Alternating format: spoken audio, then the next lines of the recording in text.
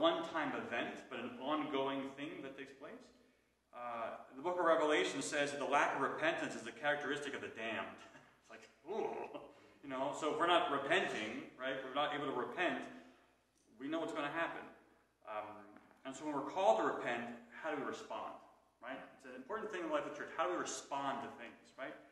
Um, and so confession is the way to communion with God when that communion has been broken by sin. Um, but before we get into forgiveness of sins and confession and all that stuff, let's talk about sin itself for a few minutes. Uh, I'm sure you know the Greek word for, for sin is amartia, to miss the mark, right? Um, so as Christians, the mark or our target uh, that we aim for is a Christ-like life. And one lived to the best of our ability and our line with our teachings, the precepts, commandments of God. Um, and when we miss this mark, we fail to hit the target, we sin. Well, murder is a sin. Pride and envy are sins. Stealing a car is a sin. Stealing a candy bar is a sin, right? Refusing to attend liturgy is a sin, but also attending liturgy with hatred for other people is a sin. So it's all kind of mixed up in this. But missing the mark is missing the mark. Whether you miss it by an inch or by a mile, you still missed it, right? Um, if we aim for the bullseye and we miss it, it makes no difference if it's an inch or by a yard. Um, in both cases, we fail to achieve that we've strived for. Um, now, obviously, there are more severe sins. Murder and stealing candy bars are not on the same level of severity, right? Um, but the point that both these things, both something major and something minor, separate us from God if we choose not to do His will.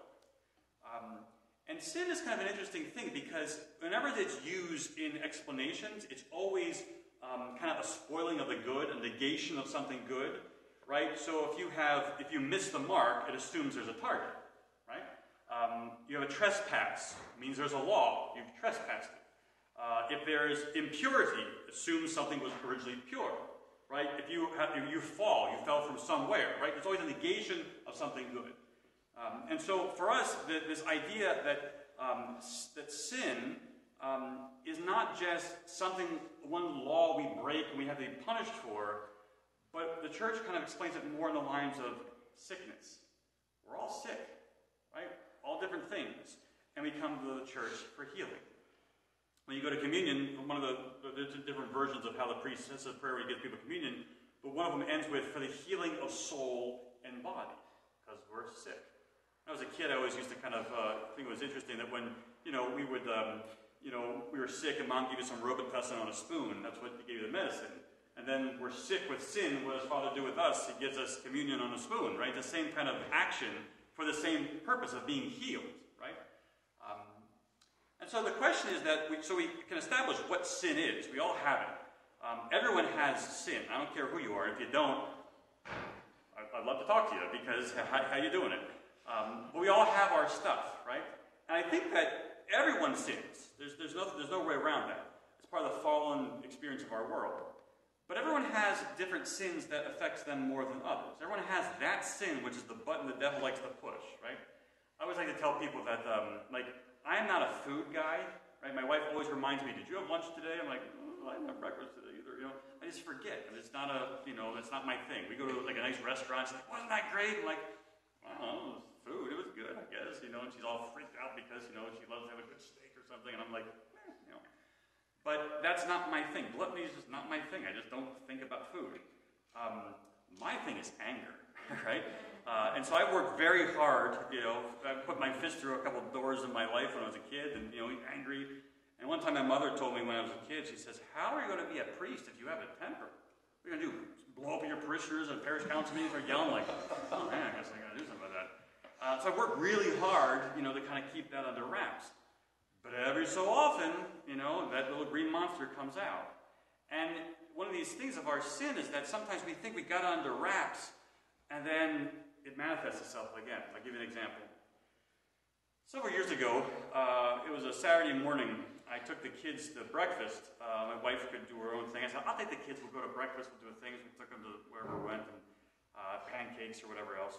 And uh, we came home, and when I come in the front door of our townhouse, there was a table here where you put your keys and whatever else. I put my like orange juice to go kind of right there, and you know, I came back in, sat in my chair in the living room, and thought, Dad did my job. Right, took my kids to breakfast on Saturday morning. Let Mom do her thing. This is great.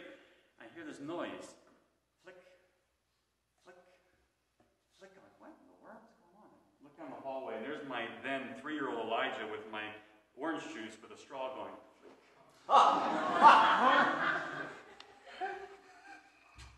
Elijah! And he drops it, and the thing goes everywhere.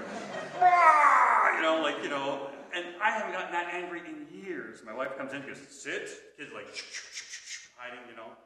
But I thought to myself afterwards, like, yikes. You know, how easy it is to set us off for our sin. And so the idea is that how do we identify these things that afflict us, these sicknesses that are sometimes deep down inside of us?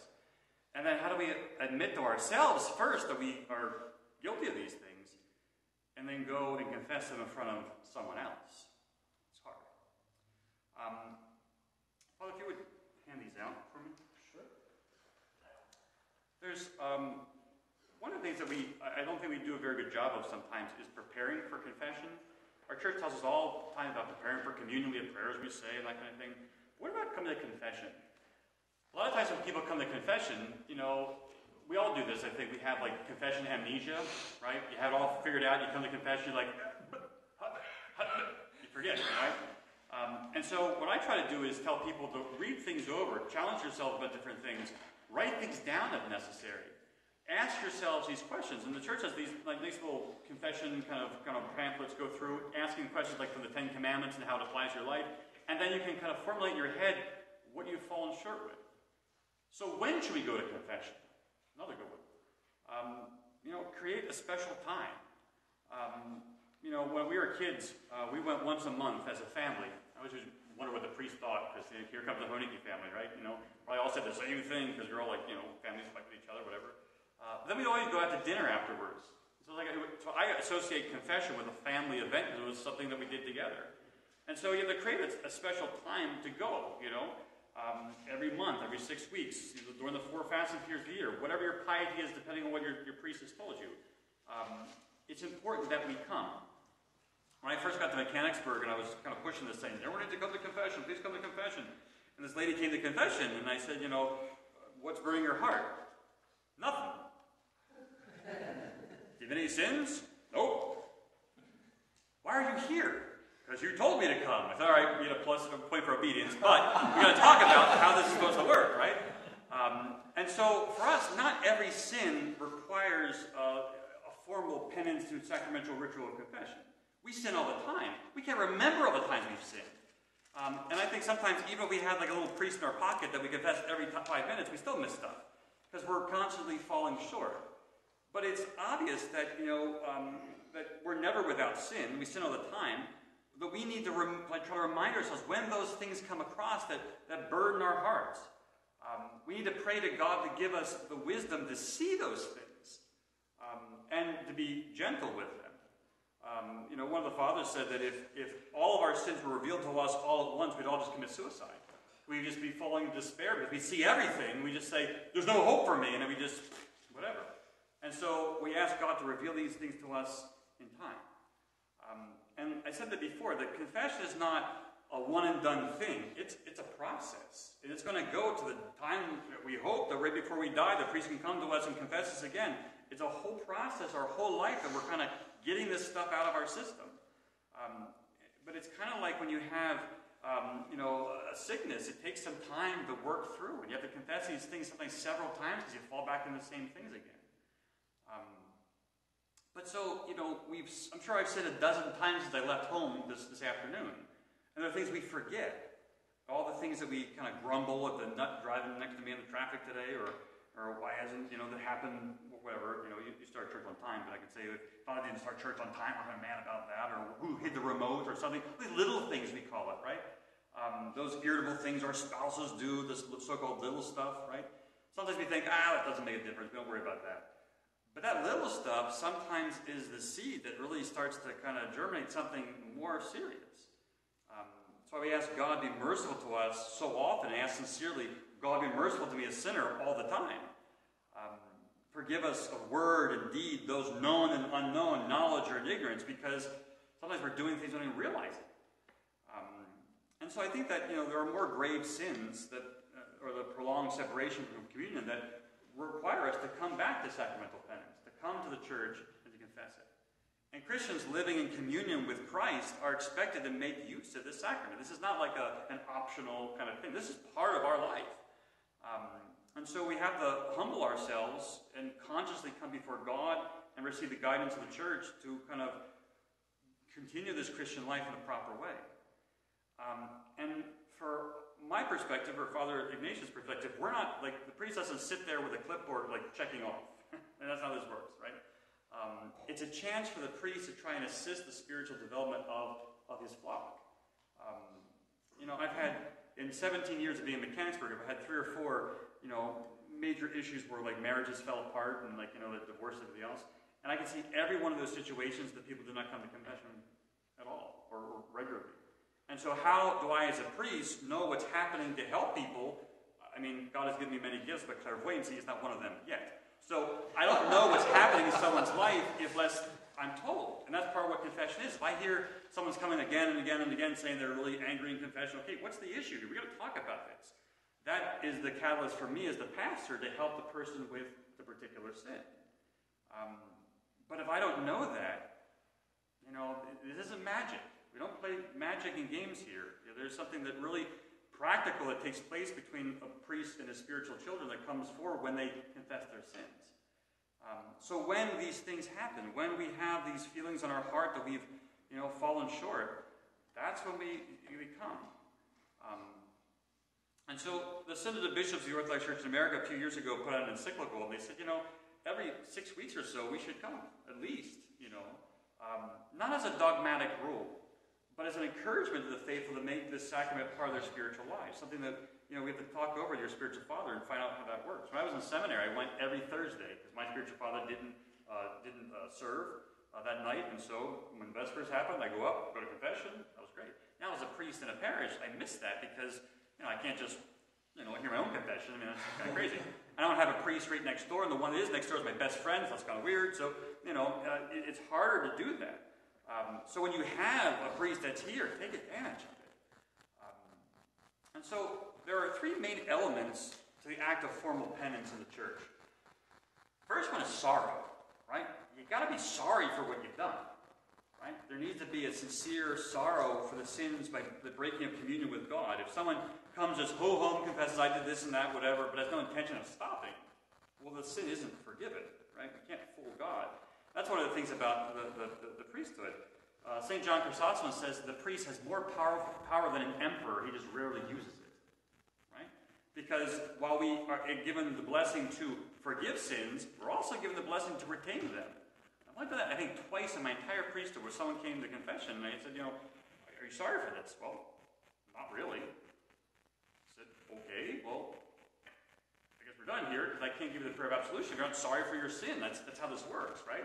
And until this is forgiven, we need to, you know, kind of, you know, or do something about this. Um, and so we can't fool God. You know, people can come to confession and say, "Oh, I'm so sorry for this," and not really feel it at all. I'm kind of dumb. Okay, God forgives and say the prayer, whatever else. But God knows what's in our heart. We're just going through the motions or whatever else. And so it's one of the things we pray for that God would give us the, the heart to see our sins and to be sorry over them, and would come and confess them before our priest, which is the second part So we're sorrowful, and then we make the confession. We say it, right? Um, there's something that when we articulate our sin, it, it, it kind of lessens the power of the demons on us. We try to conceal it in us, they, they can, their grip is closer on us. But when we actually say it, they can't hold on to us because we're not afraid. Because the humility lets it all out. Um, it's one of the things that the demons, the only thing the demons can't replicate is humility. They can't pretend to be humble, they can't do it. So when we act with humility, it destroys their plans. Um, and you know, it's funny, but sometimes people are afraid to come to confession because they want the priest to think less of them. Like they, they confess a doozy, the going to think less of them. The God's honest truth is it's just the opposite. When people come and confess like some really difficult things, for me, like I have that much more respect for the, the person because they trust me with this difficult thing. You know, when I was first ordained, it's kind of funny that you know the newly ordained priest is always sent around to do different things. Oh, he'll go, he'll go, he'll go. And so when people were sick or traveling, the young priest would go here, do this, and fill in whatever. And this um, this woman who was probably in her like 80s or 90s came to me to confession and said that she had committed an abortion like when she was like 18 years old. And when she came to confession, she was, I just thought she was elderly or else, but she was, you know, really, you know, kind of, she's crying or anything else. I could hardly hear what she said. But the fact that she had that, that, that, that courage to do that, you know, the church book says, you know, there's a penance of this many years, whatever else. Go in peace. Right? She carried that sin her life and then was able to confess that. Um, there's something powerful in that, that we as priests, when someone like opens up their heart to us, it's a profound thing and a humbling thing for us. Because a lot of times I'm here in confession thinking, man, I wish I could confess like that. You know, like the people that are confessing to me, you know, I think do it better. Right? Um, and so we have to have an open, heartfelt confession of sins. Um, historically, remember that this was done uh, publicly before everybody in the middle of the church. How about that? Uh, but in recent times, it's usually done in the presence of the pastor or the priest that re- represents the whole church. Uh, thank God for that development. Um, because the sacrament of repentance developed early in the church's history, the time of the persecution, maybe 3rd, 4th century, that kind of thing. Uh, and when the context was when people were being oppressed by because of their faith and were like, you know, opting to leave the church because they, oh, I don't believe in Christ and would leave. And then when all that kind of cooled off and they wanted to come back, church had to figure out, well, how do we reinstate these people to church? They've committed apostasy. They said they didn't believe in Christ. Now they want to come back in. What are we supposed to do? And they said, well, have them come before the community and tell the community, I did this. And I'm sorry for this, and have the community forgive them. There was a debate before that.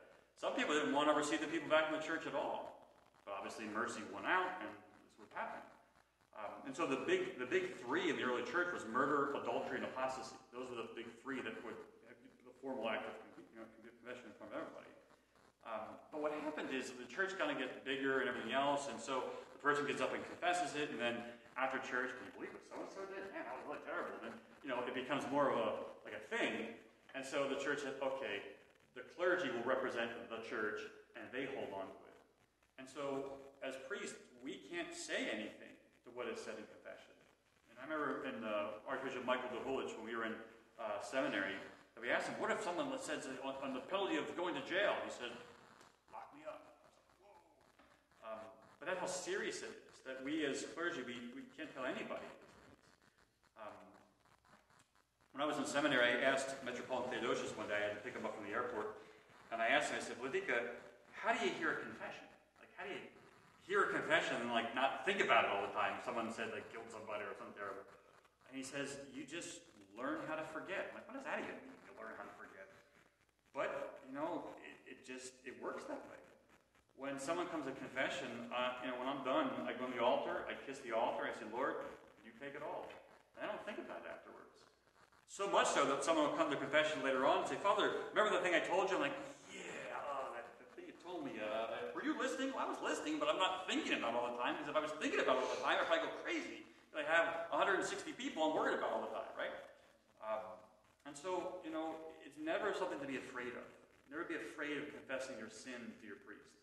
Um, that's why in Orthodox Church we have a relationship with our pastor. You know, I used to love it when I was in Catholic school. I, mean, I, I, grew, I was Orthodox my whole life, but we went to Catholic school for 12 years.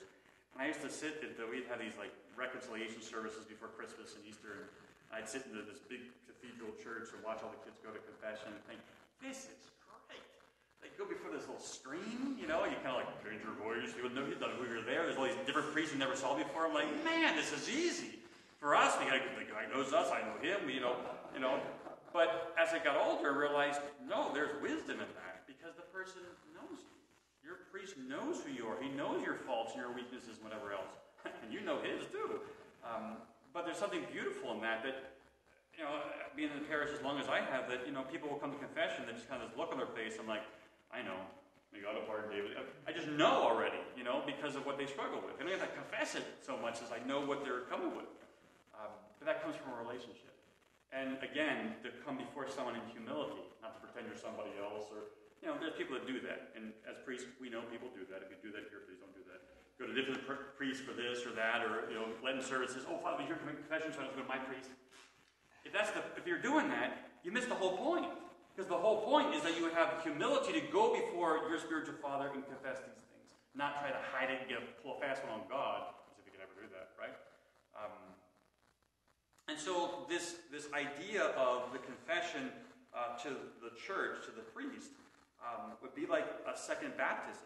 A re- relapsed person would come back to the church by this confession of sin. So every time we come to confession, it's like a renewal of our baptism. Because the idea the Father says is our tears, we say sorry for our sins, we weep, that would be the waters of our baptism. Um, and they go so far as to say that the water, that the tears of repentance are more powerful than the waters of baptism. Whoa, that's heavy. We'd be so sorry for our sins that we confess it, that the Lord would see our contrition. And then the third thing that happens, our sorrow, our confession, is then the prayer of absolution, the priest saying the prayer. You know, what happens a lot of times when, when um, you know, in our area we have, Orthodoxy is very new in Mechanicsburg. They have no idea what to do with us. And so when people come to our church, they have all these kind of questions about it. You know, and one of the things they would ask is like, well, why do you have to say this prayer? Why does the priest have to say a prayer? I can confess to God. Well, of course you can, and you should every day. I think you are supposed to. In the prayer book, you go through your, your day and all the sins you, you committed, you confess to God. Sure, uh, but I asked the person, did, does God ever respond to you tell you you are forgiven? Does He ever do that? No. I represent Him, and so my voice is His voice to the person, saying, Go in peace. And it's interesting because modern psychology says that to hear a human voice say you are forgiven is a healing thing. And so, and the church figured this out in the fourth century. Modern psychologists now are like, whoa, we should do this. Like, come on, guys, catch up with us. Right? Um, but to hear the voice of the church say this prayer, formal prayer of absolution through which the forgiveness of God through the Christ's sacrament bestowed upon the repentant sinner. Um, and this is a powerful grace given to ordained priests and bishops of the Orthodox Church to absolve and forgive sins. Not by their own merits, right? Um, but by the power of God given to them through the grace of ordination. The Lord said in the 20th chapter of John's Gospel, when he comes on Pascha, Peace to you, as the Father has sent me, I also send you. And we had said this, he breathed on them and said, Receive the Holy Spirit. If you forgive the sins of any, they are forgiven them. If you retain the sins of any, they are retained. And that grace given from the apostles to their disciples, to their disciples, their disciples, their disciples, their disciples, all the way down the line, is given to the clergy to be able to do this, to forgive and to retain. Um, and so the fulfillment of this penance um, is the reception of Holy Communion. To become and receive communion, to kind of reunite us with God when we separate ourselves. Eucharist is the completion of everything in the church, right? It's like the, the greatest thing we can do and, the, and genuine reunion with repentant sinner with God and the whole community. Because remember, when you go to communion, you're not just coming to communion with the people in State College or whatever. You're communing with the entire church. We always talk about there's one chalice, there's one bread, there's one liturgy that the entire world is celebrating all in different places, but it's all the same time, one Christ. So you have to have this, this, um, this. You have to mean it. Now, not saying the sin will never happen again right? We all know our sins, they happen again. Um, but we need to confess them when they happen again and get them out of our system and keep coming back to them every, and working on those things. Um, and so the sacrament of, of, penance, like, like all the mysteries of the church, is an element of the life of the church itself. But it presupposes there's a firm belief and conviction that Christ himself is present uh, through his Holy Spirit. Um, you need to have faith for this to take place. You know, one of the things I, I always struggle with is when someone will go to confession and everybody else and they'll say, well, Father, I still feel bad about it. Okay, you feel bad about it, but you have to believe that it happens. You know, if you don't believe that it happens, well, you know, do you believe that Christ can do this? Do you believe that Christ can forgive your sins? Um, often what happens, I think, too, is people don't forgive themselves. Uh, they can forgive the other person, whatever, they can't forgive themselves for something. They have to kind of believe that Christ has forgiven them. But if you don't believe in the church, you don't believe the authority given the clergy, then you don't believe in the words of Christ himself. And if you can't believe in God himself at his own word, then there's nothing that will ever satisfy you. Um, and really, you become a God unto yourself. Um, and a person without the experience of Christ in the church will never understand the meaning of sacramental penance and the need for the open and public of a confession of our sins. Um, and it's, it's such an important thing, though, that we uh, that we have that that that um, do I want to, use the, word uh, the, the, sense that we're not afraid to confess these things. That the priest isn't going to think less of us, or we're not going to go tell somebody, whatever. Um, it was interesting. I went to a, a clergy meeting one time, and uh, my first and the last time I went to one of the clergy meetings, uh, and the rabbi was kind of uh, upset because he said, well, you, you priests, you just say a prayer and it's forgiven. So if someone was uh, molested or, or murdered, you just forgive and it's over with. Are you talking to me? that's not how this works at all. He said, well, that's how it works. I said, what, on TV? Um, and I said to him, if someone comes to me and says they committed murder or something, I'll just say, oh, God forgive you, go in peace, everything's good. No, the person's still dead. You know, you need to go and confess the authorities and make amends for you've done, apologize to the family, provide for them, whatever, and then we'll talk about forgiveness. I said, we don't just hand it out in whatever. You, sometimes you have to say, until this is fulfilled, we, we can't do this. There's responsibility that comes with confession.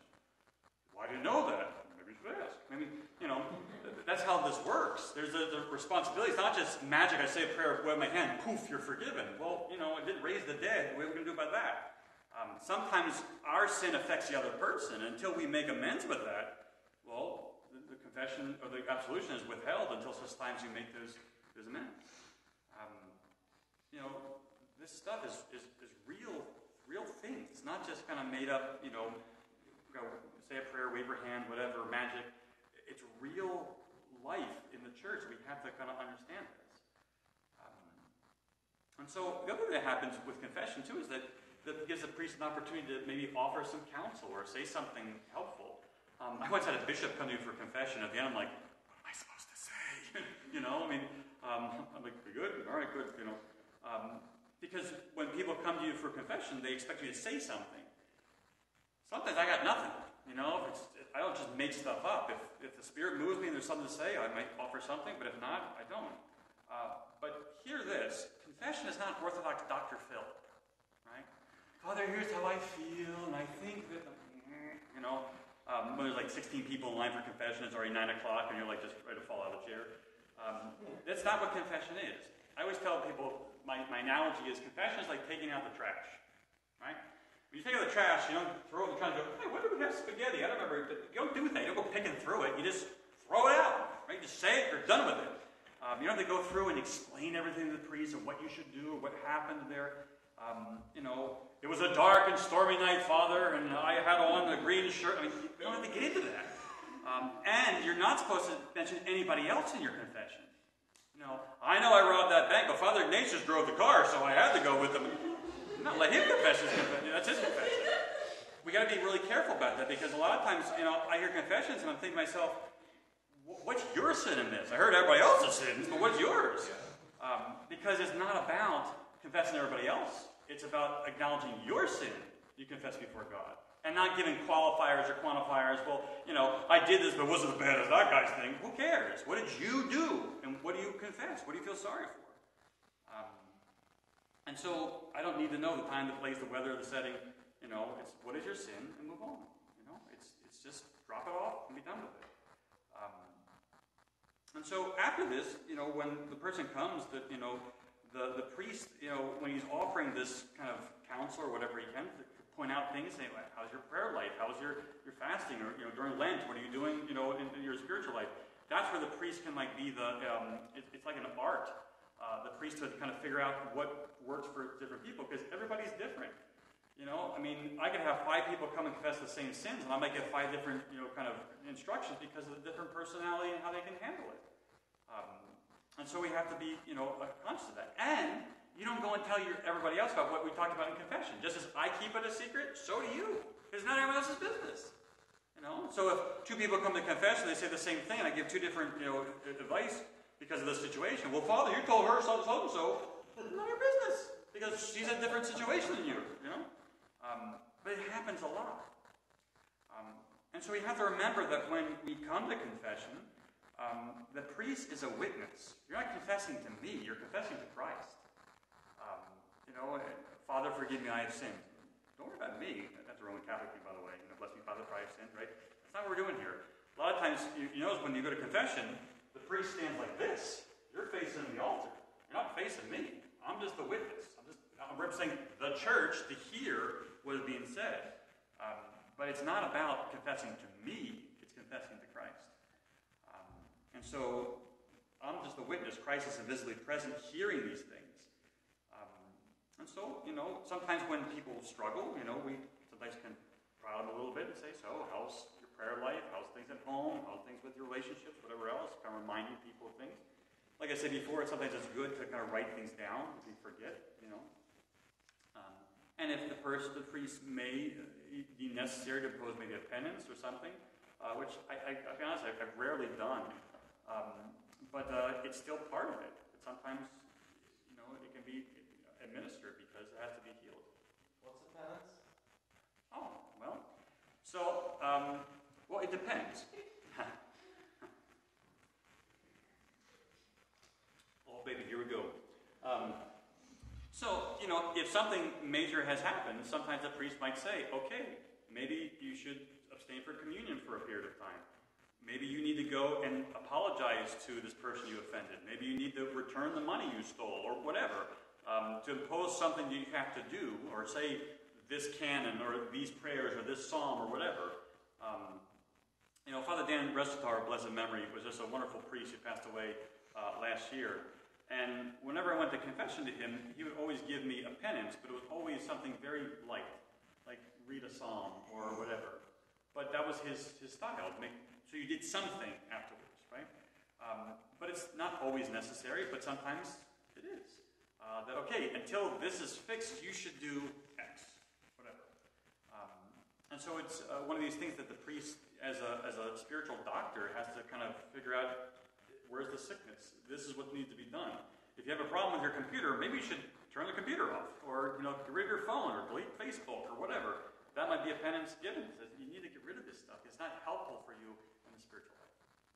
Um, and after this, the priest then takes the, the stole and puts it over the person's head. Um, you know those little fringy things in the front of the priest's stole, the long piece he wears on the front? Uh, all those little fringy things represents all the people in the church. All the, the people who have entrusted to the priest's care that he carries with him.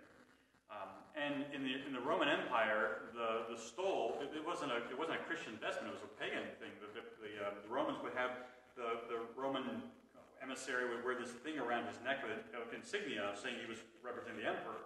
And the Christians are like, hey, we like that, okay. Our, our, the, the, the, priest represents Christ will wear this, this kind of thing. And then if you look at it, like the priest has one that goes around his neck on both sides. The deacon has it that comes around and hangs on one side. The subdeacon has it crossed around here. Uh, it's the same vestment, just used differently. But it's the one vestment that a priest uses for everything. If you know, if I go to the hospital, I at least have to have my stole or bless something, whatever. I at least have a stole on. Um, they'll all will hold everything for liturgy or vespers, whatever. But the stole, as epitrachil, is the thing that he needs for any, any kind of service of the church. And then the priest reads the prayer of absolution over the head of the person. I like the prayer of the, the, the Greek version of the prayer that, uh, better than the Russian just because of the, the way it sounds. Um, it, it's more, my, my opinion, more fatherly. Um, and the, the, the, Slavic one kind of comes from uh, more of a Western influence, has like a Latin kind of tone to it, where the priest is in charge of everything. By my power, I'm forgiving you, and it's not really our theology. Um, and so this is what the, the, the, form of the Greek prayer says. It says, May God who pardoned David through Nathan the prophet when he confessed his sin, Peter who wept bitterly for his denial, the harlot weeping at his feet, the publican and the prodigal, forgive you all things through me a sinner, hear it, through me a sinner, both in this world and the world to come, and set you uncondemned before his terrible judgment seat. Now, having no further care for the sins you have confessed, depart in peace, in the Father, the Son, and the Holy Spirit. Amen. Um, and so, there's important things mentioned there. All these times in Scripture where people confess their sin, were sorry for what they have done. Um, and then, you know, the priest saying, You're now said you uncondemned before his terrible judgment seat. Think about that. At the judgment seat of Christ, we're going to hear about this on Sunday, the book is opened, the deeds of all men are laid bare, written down. The fathers teach that when we go to confession, the things we confess are blotted out of that book. So if we've confessed it, they're not going to be there. We've already given an account before Christ and the church in confession. But if we conceal them and we don't, then the book's going to be open. We have to give an account before everybody. Right? How terrible that would be. But that's the power of this, that these things are consigned to oblivion, assuming we don't go back to them. Um, in the ancient church, not all priests had the right to hear confession. Special confessors were appointed. Experienced monks or priests were entrusted with this responsibility. Uh, it's still true in some Greek churches. Um, in some of the Byzantine churches, that like diamond thing that hangs on the side is only given to priests who can hear confessions. Um, but um, from the 16th century on, however, most in the, the Slavic tradition, most priests were given the ability to be the confessor because they didn't have priests in these places, whatever. But in many monasteries, an experienced monk wasn't even a priest, was a confessor. So it's not about necessarily confessing to the priest, it's just confessing to someone. You're telling someone what you've done. The priest obviously has to do the absolution part. Um, and it's, like I said, the, the modern psychology says that everyone needs one person they can be completely honest with without any fear or judgment to tell their entire life to. Really, guys, you're just catching up with this. This is good, right? I mean, the, the church. I mean, it, it drives me insane how we now, you know, we modern Americans, because we're so smart, we know everything. We're just catching up with what the church has been telling us to do for like 1,700 years. Um, you know, uh, just coming up soon, the, the modern um, like uh, dietitians say that every so often you should abstain from red meat and like and fatty foods and just take periods of time off and on. Like, oh, really? You know? yeah. Thanks, guys. You know, the fathers were telling us to do this for, for ages. You know, not just because it's good spiritually, it's also good physically. And those things, we are body and a soul. So, you know, um, you need both those things. Um, but it's amazing to me that the wisdom of our holy church has been telling us that before the experts got involved. The experts are, are depicted on the walls of the church. They're telling us what was supposed to be done, and we've been doing it ever since. And the world is like catching up to us now. Um, and so, St. John Chrysostom, he says, only the priests, not even the angels, have been given by God the right to forgive sins in confession. And God has allowed the priest to be also a sinful man, for the sinful priest will best understand the sinful man. How beautiful is that? that the angels who don't sin, because they're angels, they don't hear confessions and they can't give uh, absolution because they wouldn't understand people because they don't have that experience. But a human who has sinned, who has fallen, who has been forgiven too, can then be better a person to hear confession and to offer forgiveness of God because they know. And God, knowing our weaknesses, allows this. Powerful. Um, and so, how do we combat sins that constantly assail us? A disciple came to a certain elder one day and said, Father, I have fallen. The elder answered, Get up. Again and again he came to the elder and said, I have fallen. And the elder invariably answered, Get up. Until when must I continue getting up? The disciple asked. And the elder answered, Until the day when you give up your soul to God. And so every time we fall, the sacrament of repentance tells us, Get back up. Right? Um, and I think that's an important thing for us that, you know, there's nothing you can do that can't be forgiven if you ask forgiveness of it. Right? We talk about the blasphemy against the Holy Spirit that's never forgiven, right? Well, what that is is when you, you don't think you're wrong and you won't ask for forgiveness of it. Well, he's not going to forgive you something you're not going to ask forgiveness from. But if you ask forgiveness of something you've done, of course he's going to forgive you. That blasphemy is saying, no one can forgive me. I don't need forgiveness because I know everything.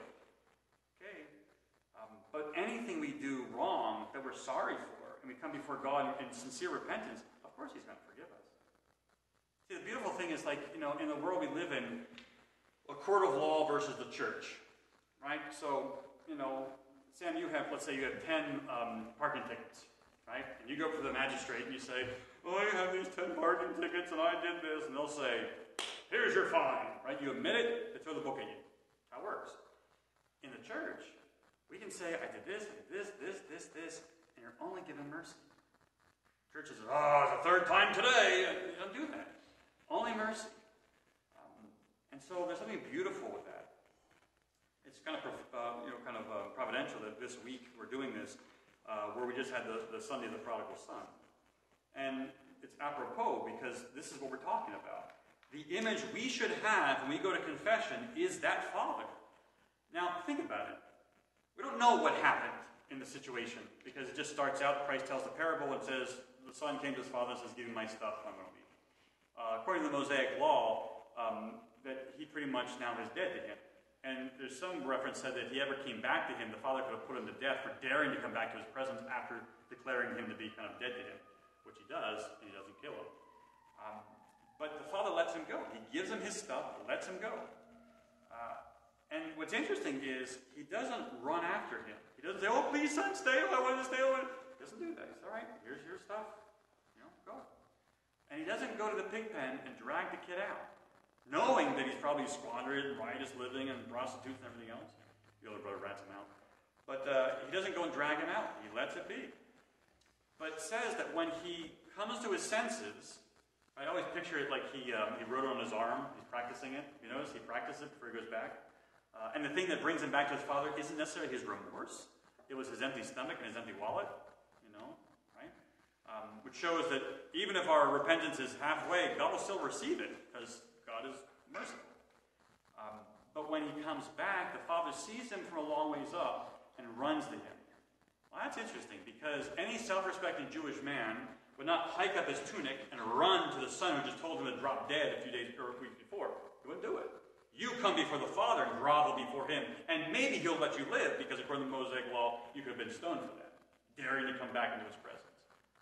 But he doesn't do that. He runs to him. He weeps over him. He hugs him. He's so happy he's there. And the, you picture the son saying, Father, Father, Father, okay, I have sinned before heaven, before thy face, no will be called thy son. And the dad cuts him off. Remember, there's a second part. Make one of your hired servants. He doesn't let him finish the sentence. Meaning, God does not want hired servants in his kingdom. He wants sons and daughters. And the beautiful thing is when he makes the confession, the dad should have said, from a human perspective, We were so worried about you. How could you have done this? We were devastated. Shame on you, son. He should have said all those things. But what does he say? Kill the fatted calf, get a ring and a robe and sandals, and let's have a party. He doesn't even address the terrible thing his son did. And the beauty is that when we confess our sins and we come back to church, the banquet that's thrown for us is the liturgy. And there's not a fatted calf that's killed, it's the Lamb of God slain from the foundation of the world, which takes away the sin of the world that is given to us as food for the faithful. He gives to us of himself. And so, this is the, the, the, image we should have of when we go to confession. This is who we're confessing to. You know, I think one of the problems we have uh, as Christians, we're like um, we're infected with like um, American Baptist ideas of we do good, God blesses us; we do bad, God punishes us. And Jesus sits on a throne with lightning bolts killing sinners because he's angry at everybody. That's just nonsense. And you read the church fathers, it's not consistent with that. And you have these, these weird ideas of how God kind of sees us. He's looking for us to step out of line nail us because he's God and his righteousness needs to be appeased or some nonsense. Let me flip it a certain way. So I have four children, right? So until Nicholas makes amends for talking back, my judgment will be upon him. Until Elijah takes out the trash, my wrath will be upon him. Until my five year old cleans up his Legos, my indignation is upon him. I was trying to say it with my, my daughter, but she's too sweet, no one will believe it, so I can't do that. but as stupid as that sounds, I use that word very clearly, stupid as that sounds, that's how some people see God. Right? As a priest, one of the things I always say is that, you know, for the last many years, I deal with Christian uh, PTSD. That people their whole life are just afraid of God because if we step out of line, he's going to nail you with something. Well, that's not the God we worship at all. Now, there is accountability. There is judgment. We're going to hear that on Sunday with the, the river of fire, the whole nine yards. We have to give an account for what we've done. Absolutely. But the mercy of God is greater than any of it if we come to Him in repentance. If we can have that humility and come before Him and say, I am sorry for this which I have done. God forgives us. God has mercy on us. And this beautiful parable explains it to us. And so we have to consider the, the meaning of sin and repentance. Uh, it's sin that separates us from God, sin that plunges the soul into darkness. We often lose peace and joy and that kind of thing. I mean, you ever try to pray when you have something weigh on your heart that you've done wrong? It's hard. You know, if you're angry with somebody, try to go to your icon corner and pray. You can't do it. Because you're like, oh, you're thinking about that person. You can't pray properly, right? Um, and so we have to first acknowledge that we have sin. Right? St. John the Evangelist. If we say we have no sin, we deceive ourselves, and the truth is not in us. You know, First John. For every man who sins falls short of the glory of God. Right? But then we come to our senses, we acknowledge that this is our sin, what we have done wrong, and we come before Him and boldly confess it. You ever had something you're so sorry for you cry over it? You know, there's tears of repentance. Um, I said, those are more powerful than the waters of baptism because we would be so sorry for what we've done. We come before God and with contrition, not just, oh, um, yeah, I'm sorry, whatever, whatever. You know, my boys are good with that. Yeah, sorry, Dad. As they're like doing the exact same thing I just told them not to do, as they say sorry, they go back to it. Like, you know, my, my father had a great line. He says, Don't tell me you're sorry, show me you're sorry, right? And I think that's part of this. It's not just words, but what are you going to do about it? Are you going to change that behavior? You're going to change your life? You're going to change that, what, that relationship? Whatever. And if you're not, it's not sincere repentance and it can't be forgiven. So, you know, it's not easy to confess our sins, right? It's not a natural thing to willingly submit to discomfort, especially as Americans, right? In our day and age, we feel we're cold, we turn on the heat. You know, if we ache, we run for Tylenol. Not just Tylenol, but rapid relief extra strength Tylenol, right? You know, fast food, we want that, right? Um, anything bugs us, even minutely, we need to fix it now. You know, uh, my wife and I were watching some show on Netflix. It was about like you know back in like the time of the settlers and everything else, and we were both kind of marveling that these people lived in such rustic conditions, and for us we're like, oh, it's so uncivilized. But that's like normal life for most of the world right now. You have a roof over your head and air conditioning and heat and food in your, your, your, your refrigerator. You're doing better than like 98% of the world's population. It's amazing. Um, but we're so used to like never being in any kind of discomfort at all. Why we submit to being uncomfortable at confessing our sins? It, it's against you know our, our, whole ethos as Americans because we're always supposed to be the biggest and best and, and brightest and whatever. And here we're called to be the lowest and the most humble and to confess our, our, our sins, our, our, you know, our things we've done wrong, which we never admit to wrong, we tell everybody we do right, you know. This is what I'm good at, you know, rather than saying, forgive me, I fell short here, I did this wrong, I should have done this differently. Um, and so, willingly, we go into a situation where we would open ourselves up to another person. It's a difficult moment. And I'm not saying this because, you know, as a priest, I've got it all figured out too. I got a good confession too. And it's hard for a priest too. And priests, when we go to confession, we're supposed to take off our cross and we kneel at the altar. And we hear our confession is given at the, the throne of God, even. That's daunting. You know? For all, and I have to give account for my whole parish. you know, my deanery. God help me. You know. you know, so these are very difficult things, and we have to confess them. All of us do. I don't care if you're the patriarch or you're just chrismated last week. Everyone has to but think about that if we, we showed this humility. If the world did this, right now with like, you know, Putin and, and, and Biden and Ukraine, whatever else, what if like an ounce of humility was in any of that? You know, the ecumenical patriarch, the Russian patriarch, this kind of little bit of humility, boys, you know? This is being recorded, I'm careful. But, you know, if we had this, it would change everything. How many parish meetings would be different if we all had humility coming forward to But when we don't, that everything goes haywire. Because this was the problem from the beginning. Right? It was humility that saved the world, and it was pride that, that condemned it in the beginning. Um, every sin comes out of pride. You name it, it's it. You know, gluttony, I want that food. Lust, I want that person. You know, um, avarice, I want that money. See the theme? I, I, me, me, I want, right? Um, it's like humility is so stressed in our church and so when we get to the end of, of, of Holy Week, what do we have? You know, the extreme humility of the God who exists before all ages with all power and authority submits to be crucified spit upon slandered when he could have just vaporized everybody and said, Get out of my way, I don't have to deal with any of this stuff. But the God of the universe submits to this. And in imitation of him, we come before one another in humility. You know, the remedy for this difficulty in confession is this. Um, if we're not sure, if we're afraid to do whatever, we pray. We ask God to give us the strength. We fast um, to kind of remind us of this. And we have this mutual forgiveness where we ask other people. Notice it's interesting that we start Great Lent with Forgiveness Vespers. Um, and, you know, in most parishes, you know, I mean, everyone has little squabbles, I'm sure, parishes or, or families. But I don't think there's anybody really, I mean, there are, who like hate each other in a parish. And If you are, what the heck are you doing here, right? Um, so we have this thing, everyone's like, you know, oh, forgive me, oh, there's nothing to forgive, or slap each other in the back, and like, you know, everything kind of, you know, kind of, so let's make a joke out of it.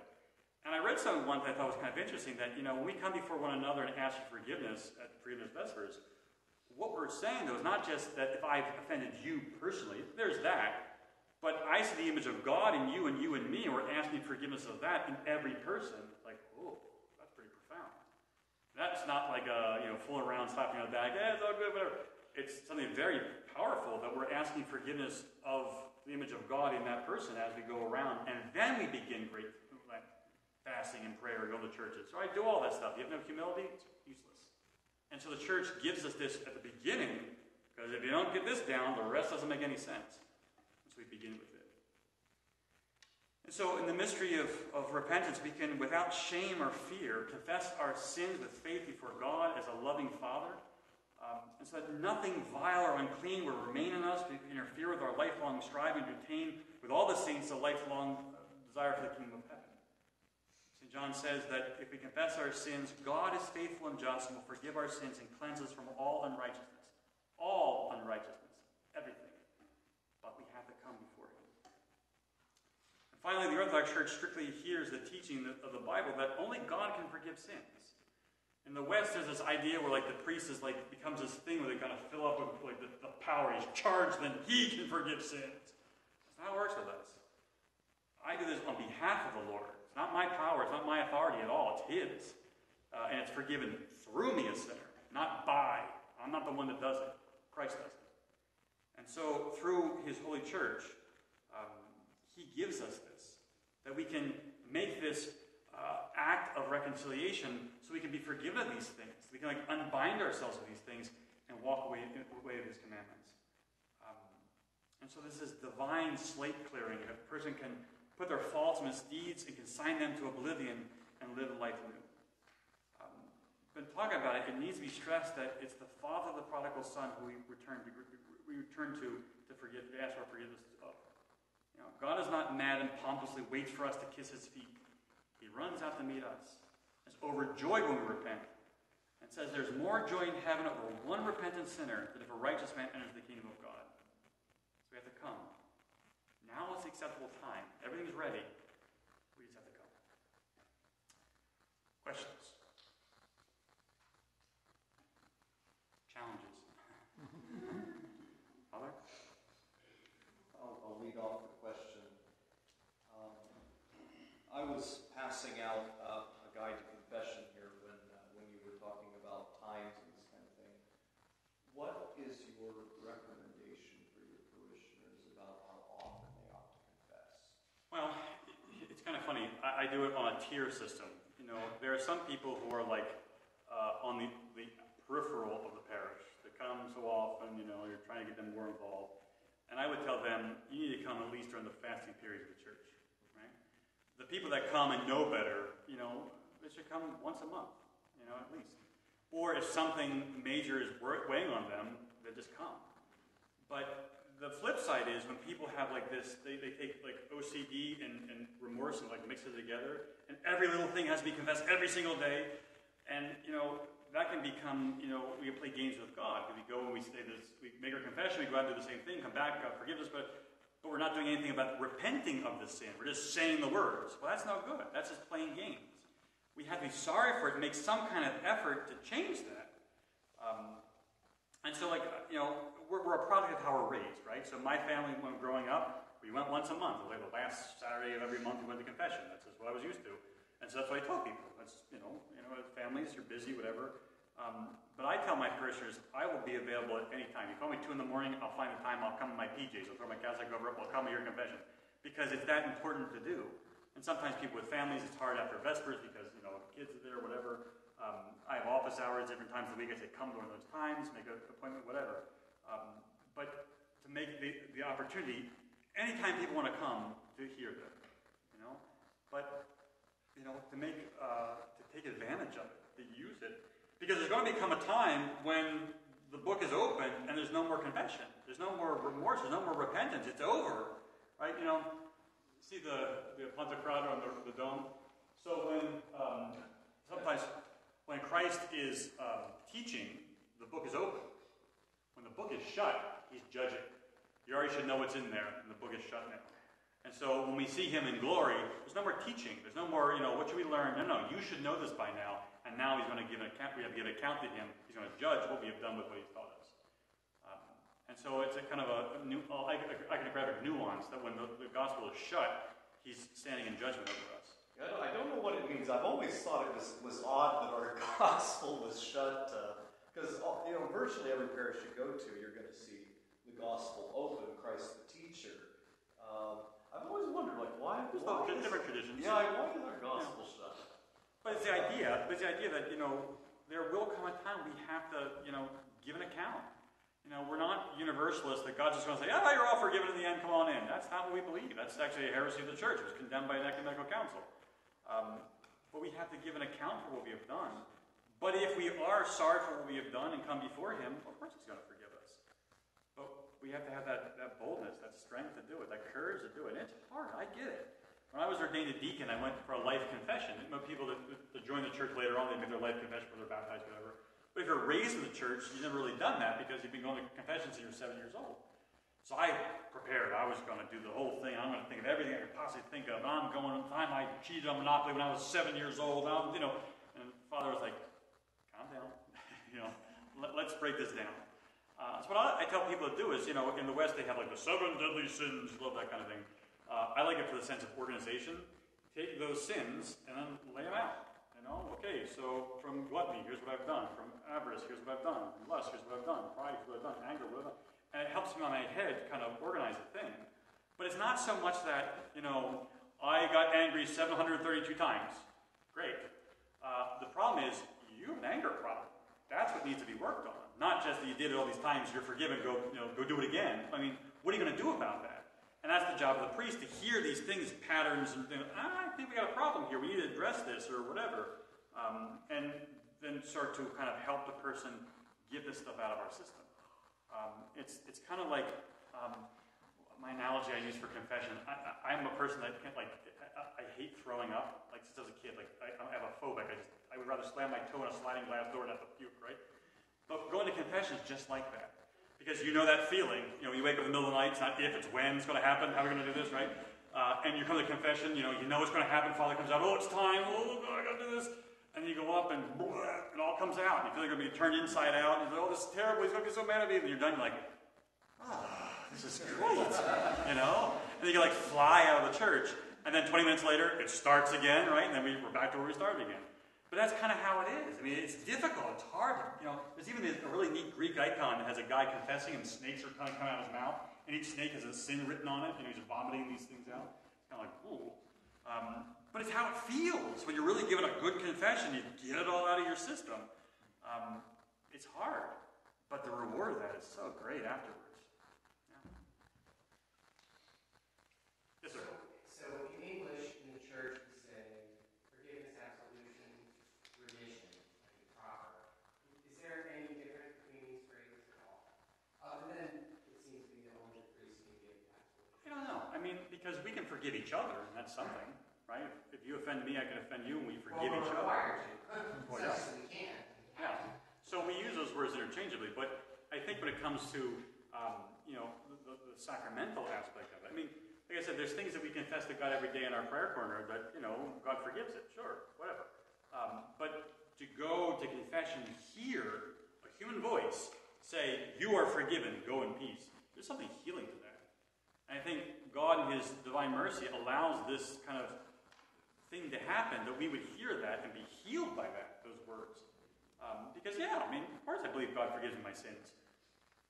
But he never said it, you know? But when we hear someone who represents the church say those words, man, that's a powerful thing. You know, even now I go to confession when the priest says those words, like, you feel a weight taken off your shoulder.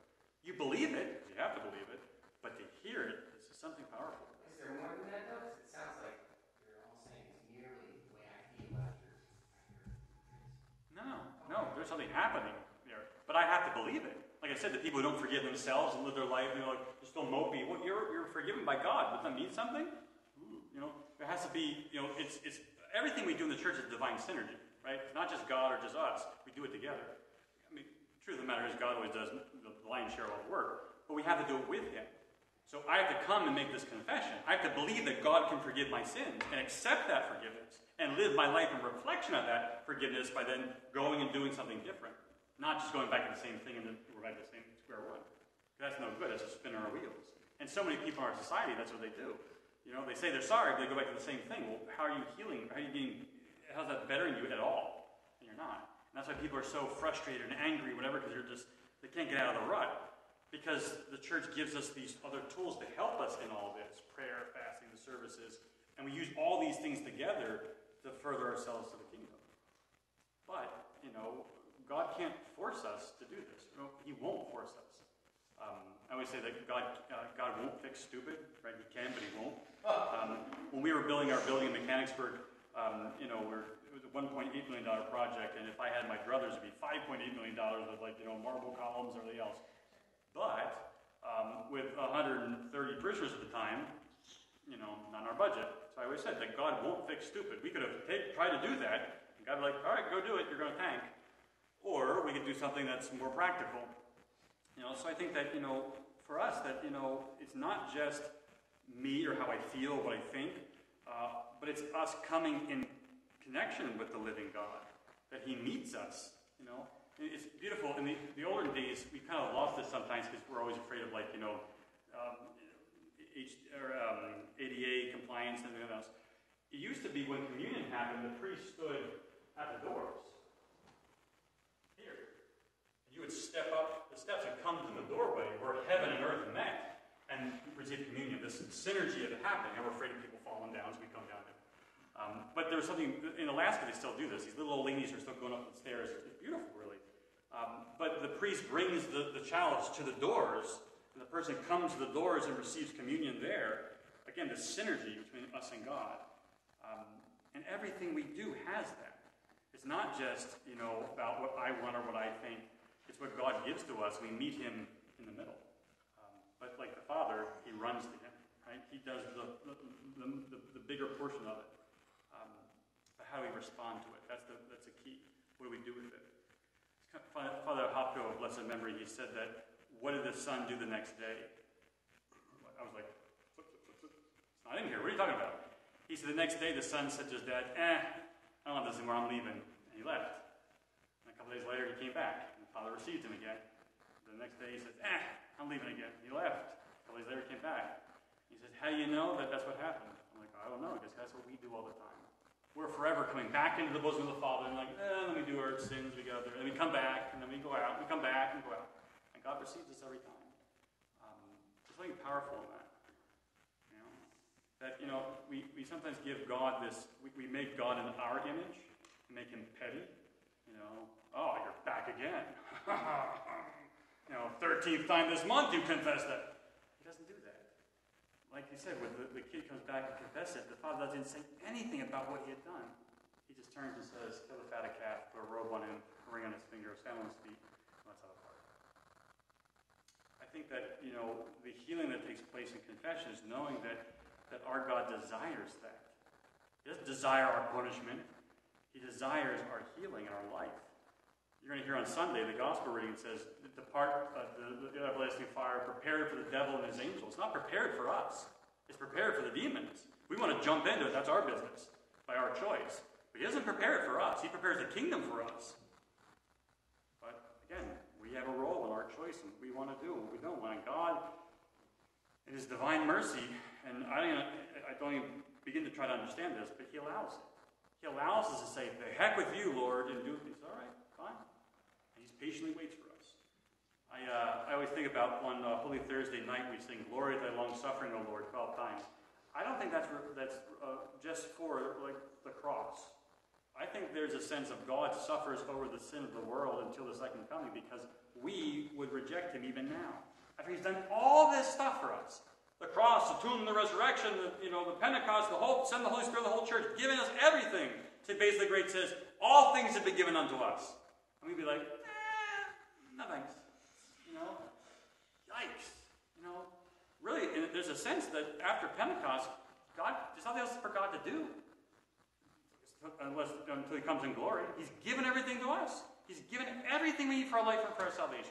What do we need? We've been told everything. We've been given the Holy Spirit. We have the church. We have communion. What else do we need? He's given it to us. It's, it's over. When he comes again in glory, he's going to make an account for it. So, you know, from God's perspective, he's done everything he possibly can. We just have to respond to it. And we have all kinds of opportunities to do it. The question is, do we do it? Know, I, I think everything that, that we see in the church is always, what is our response to it? You know, Christ became man, that we can become like God. What's our response to it? Christ has redeemed the whole world, you know? Do we live in reflection of that redemption? You know, Christ has forgiven our sins. Do we believe that? You know, we forgive the other person because he's forgiven us. What's our response to the things God has given to us?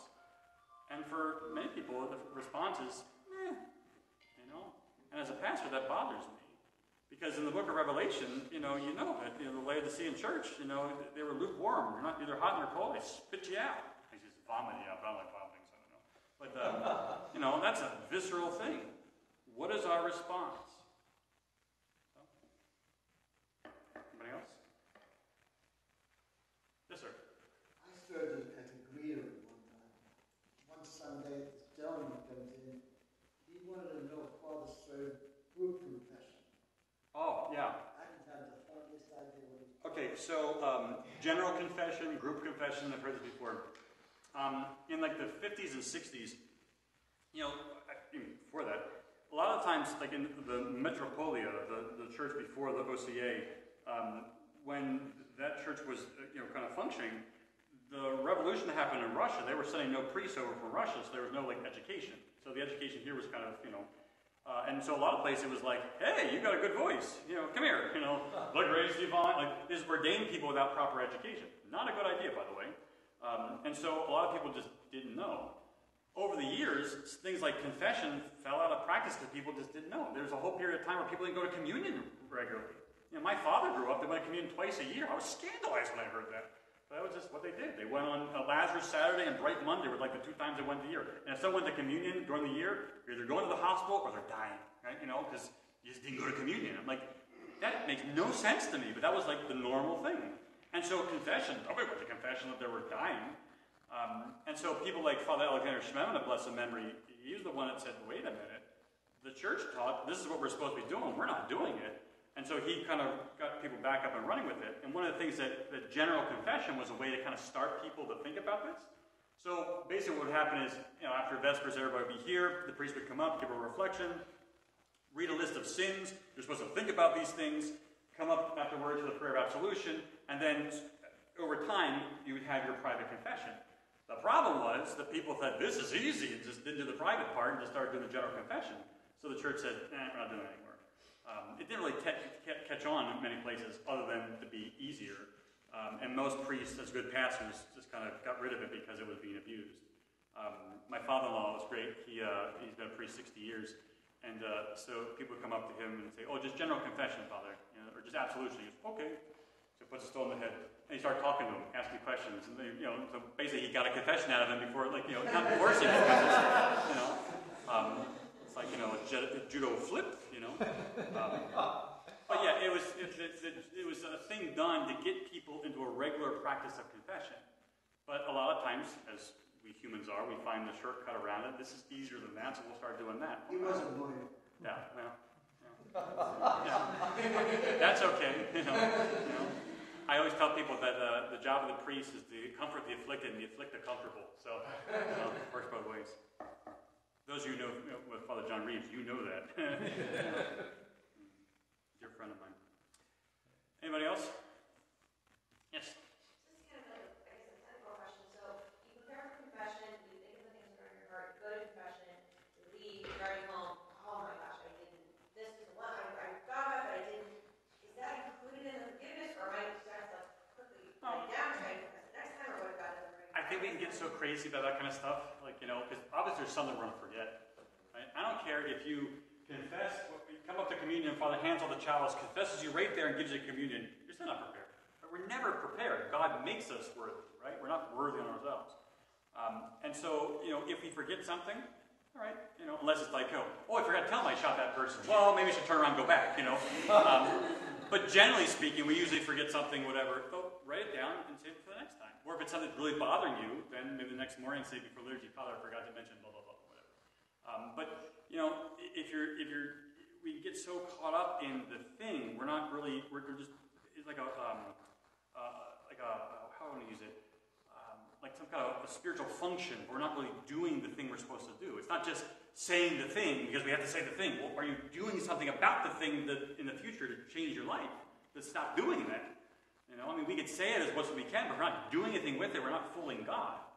You know, now there's one thing if you know we're really trying, we fall, and we we, we come back to God, fine. But there's another thing we just kind of eh, just say it. That's what we say.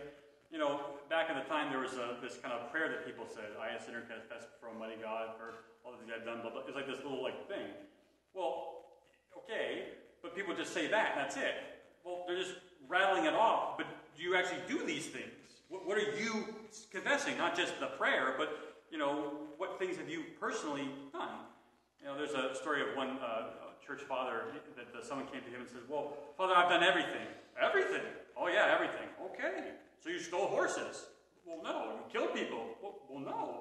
Well, obviously you haven't done everything. What have you done? And start there, you know? And so, you know, you can have it both ways. I've done nothing wrong, or I've done it all, Father. okay, you know? Um, and it's usually somewhere in the middle, right? Because obviously we've done something wrong. Um, but, you know, it's not about just kind of glazing over. It's taking into account what I have done, what I am sorry for, and confessing that before God. And it's hard. No way around it. Yes. I'm having a little trouble uh, articulating the question. I was talking to Protestants, actually somebody that was visiting the church maybe a month or so ago.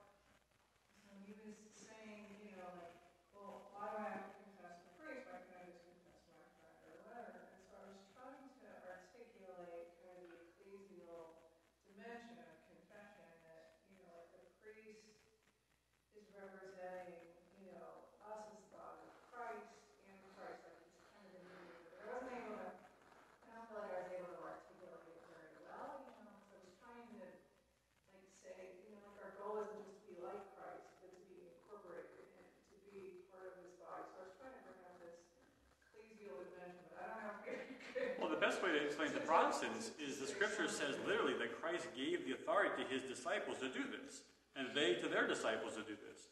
That's why we have apostolic succession. Those are you know, passed down from generation to generation.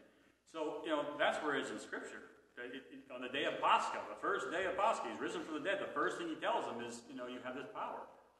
You know, I mean, you can use all kind of mental acrobatics to get around that, and like that doesn't what it meant. That's what it meant, you know, and that's what it, it did. Um, and then the, the epistles of John, he talks about confessing your sins to one another. I mean, this it shouldn't be like you know like rocket science to people because it's it's clearly the practice of the early church that they would confess to one another. They would come to the elders. They would pray over them, forgive them their sins by the power given to them by Christ. But see, what happens is in a Protestant mindset, you've taken the whole mystical part of the church and thrown out the window. So it has to be what it is. There's no anything else. And so they don't know what to do with all that because it's just magic mumbo jumbo stuff. And for us, it's like, no, that's, that's the power of the church. That's the, the spiritual dimension of all these things that they just have no concept to understand. So what I try to do when I explain this to people is not explain to them like they're Orthodox. Try to find a way to kind of speak their language. You know, I joke I went to Catholic school for 12 years, so I speak Roman fluently, right? Um, try to explain it the way they would understand it from their perspective. Because what happens sometimes would be like we give the Orthodox answer to a Protestant question, we're just not connecting at all. Um, I think we don't do a very good job of this evangelically in, the, like in churches. Uh, there was a parish one time that they were Holy Dormition of the Most Holy Theotokos Orthodox Church, Divine Liturgy, 9:30, Great Vespers, not at 6 p.m. And like the only thing the average American knew of that, that whole thing was uh, the, and the times. Like what is a Theotokos liturgy? Because you know we're, we're, we're trying to get them to see this. Not we know what that is, but they don't know what that is. Uh, Father John Matusiak, a blessed memory, his church had a sign that said "Church arrow." You know, um, but uh, so how do we how do we explain it to people in a way they can understand it? And what happens is though sometimes like you have to back the truck up because okay, well it's the authority given by Christ. Oh, well, apostolic succession. They don't understand that. We got to back up and explain that. Oh, then we have to explain the, the role of the apostles. Okay, that blah, blah, that. And so by the time we're getting to the question, we're like six questions back because they don't understand the foundation of what all this stuff means. Uh, that's what frustrates me when, when people like that come to my parish because they, they want an orthodox answer for a Protestant question, and sometimes like there's no quick way to do that. You know, and when we do, we do a disservice to our church because we like we like to get the quick answer. You know, what's the difference between you and Catholics? Well, our priest can marry, our altar's faced this way, we have no pool. Well, no, no, you know, that's the one everyone likes to give, but that's not really accurate. You know, there's a lot more than that. There are a lot more serious things that are different between the two churches. Um, but what happens is that, you know, we, we try to find an answer that will that make them happy. Well, I would say don't worry about making them happy. Be honest with the truth. And let the, Augustine uh, of Hippo has a great line. He said, "The truth is like a lion. Let it out; it'll take care of itself." Right? Just say what we believe, and if they don't like it, that's okay. Fine. You know. Um, what I found is that, and this, I, I, I, I struggle saying this because of the, the context of the last two years, but orthodoxy can be kind of like a virus to some people. Once it gets in your system, it just takes over after a while. We had a lady one time that like she came to Orthodox church and she hated it because you know all this, you know, this incense and candles and idol worship. This is just terrible. And then she like stormed out of the church and you know didn't come for a couple weeks. She had to come back and make sure she hated it, right? And she came again and again and again. It's like she's a goner, you know. Uh, as, a, as a priest, there's certain things that people do that I know it's they, they're past the point of no return. You know, they, complain about icons and the Mother of God. I'm like, yeah, yeah keep going, right? And then, and then once they get over that, it's like it's like an avalanche, and then everything just falls into place. Um, but it takes time because we live in a world. This world is not of this of this world, right? We this is not like that. So we still live in the world that Saint John the Divine testifies of, right? The Book of Revelation, right? Now, worship was beautiful tonight. The choir was beautiful. Everything service served beautifully. This worship is not like the world. It's something different. So people come here and see something that, like, this doesn't look like anything I've seen before. Good. It's not supposed to look like anything else. It's the, it's the kingdom. And so they see something that's completely different. And our explanations of things sometimes are very foreign to them because their, their, their, mindset, um, their paradigms are just completely different than what we understand as the church. And part of our job as Orthodox Christians is acquiring that mindset more and more that we understand things from the church's perspective, not the world's perspective, which has been kind of the thing at odds the last two years. The world tells us do this, and the church says, well, we do this, and we're, you know, things, things like evening out now. Um, but we have a way that we respond to things, pandemics and you know governments and things. We have a way we respond to it. We're pretty good at it for 2,000 years. We're doing it, and then we seem to forgot that, you know. Um, but you know, when people come, it's good they ask these questions. We have a place that, an atmosphere where we're welcoming them to answer these questions. But you don't have to feel you have to make people happy with the answer. Because there's certain things that, you know, are not made to make us happy. They're meant to make us holy. you know? Um, and sometimes, you know, or most times, there's sacrifice involved in that. And as Americans, we don't like sacrifices. You know, we don't like it hard. We want it easy. We want it just the easy way. Um, and if you want the easy way, there's the doors. I mean, this is not the easy way here, uh, especially the next couple weeks. We're not doing things the easy way in the next couple of weeks. It's hard. Lent is hard. Confession is hard. Fasting's hard. Praying's hard. And if you say it's not, you're not doing it right. Um, Father Seraphim Rose has a great line. He says that um, if your version of orthodoxy is easy, it's not orthodoxy. It's something else you've stamped Orthodox Church on, but it's not orthodoxy. Uh, because the church is a cross. We have to carry it. But the end result is the kingdom, not just recognition or whatever, or somebody is happy because we have a good answer that she likes us now because we agree with her theology or something. Um, you know, when I was first ordained, I was always afraid of that. Like, you know, oh, I gotta say the right thing or they might get angry. Now I'm like, you know, I don't care. I mean, if you're angry, be angry at Christ, not me. It's His church. I'm just a messenger, you know, and it's not my job to monkey with it, you know. I mean, Father and I, we, it's not our opinions. I can't say, I think we should do. No. What does Christ say? What does the church say? What does the Father say? That's what I say. You know, and somebody says, What's your opinion of this? What does St. Basil say? That's what he says. I agree with him. Right? Because he knows it better than I do. Right? So I think that part of it is when people come, um, don't be afraid of, you know, make sure they understand it. Just say what we believe. Because eventually what's going to happen is five years from now, this lady's going to remember that conversation. It's going to click. I know what she meant by that. And then it's all going to fall into place. But sometimes it takes time. Yeah. Anybody else? Yes, I've heard um, instructions before. They say when you're in, uh, going to confession, uh, you shouldn't be too detailed. And is that that whole idea about what it's looking for is the things you need to work on and change? That's it, because that the details don't really do any good for that. I think it depends, because some people like to be general to get out of it. You know, I had an impure thought. Okay, you know, or you know, I have gluttony. Well, did you eat 17 cheesecakes, or is like, you know, what, what do you, what, what's the issue here? So I think sometimes you have to have um, not detail, but sometimes explain the sin to the priest. And if you're doing it to get around it, you're missing the point of confession. If you're doing it to like hide what you really have done or whatever. Um, but then the flip side of it is when you like get into all the detail, and the priest is like, "Please, I don't need to know this," you know, um, you know, thank you, mute. Um, so there, it, the Orthodox Church, if, if it's anything, it's sanity and balance. So you have to balance these things. So you have to be honest with your confession, but there are things that like are, are too much. Like I had somebody once went to confession, like for 15 minutes they're telling me this story, and I'm like, where are we going with this? Like, where's the, the, the sin part? You know, what, what you had for dinner, and what your road you're on, and what car you're driving. I don't, that, that's not part of this. And I think sometimes when people are nervous, they just talk all the, the details just to kind of get around it, just spit it out, you know? Um, I think that's what, what happens sometimes. So it's, it's not one or the other. It's confess it honestly so you confess the sin, but, you know, save the priest back for crying out loud. Sometimes you're there for a half hour, you even speak the word. Else?